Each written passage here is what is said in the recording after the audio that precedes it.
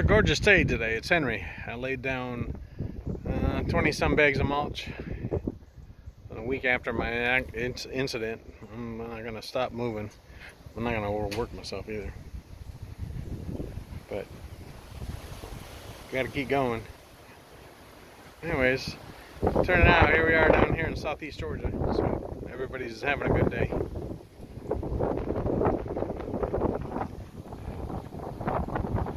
Alright, God bless those in Maryland. Sorry to hear what happened. Those lost lives, that's sad.